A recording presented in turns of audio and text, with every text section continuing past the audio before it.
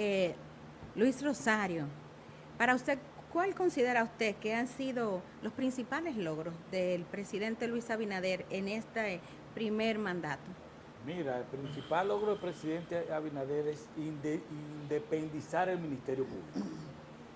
Claro está que hemos visto y la historia de nuestro país... En ese caso sería un reto, ¿no? Un logro. No, no, no, ha sido un logro porque el presidente, el presidente lo ha manifestado y lo ha hecho en estos cuatro años y ha estado totalmente aparte del Ministerio Público.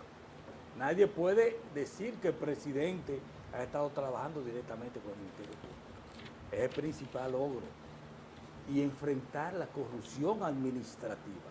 Todos aquí sabemos y la historia del país lo dice, lo que ha sido la corrupción gubernamental.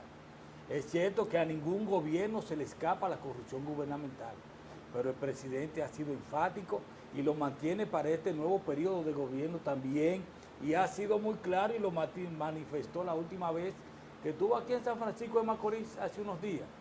Va a ser ah, muy fuerte con los funcionarios gubernamentales que, que metan la mano como el pueblo lo dice. Entonces, es uno de los principales logros que ha tenido el gobierno.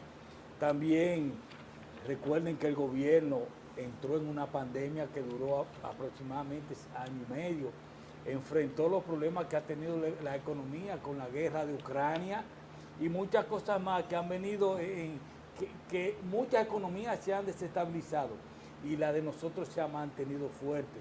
Por eso tenemos un crecimiento de un 6% del Producto Interno Bruto y la economía se mantiene estable.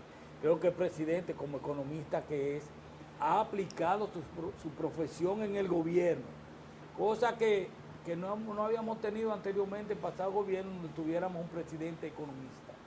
Creo que el presidente lo ha hecho bien y en estos cuatro años que vienen lo va a hacer mucho mejor. Bueno, veamos ahora el punto de vista, desde el punto de vista de la oposición, cómo ha sido esta valoración crítica de la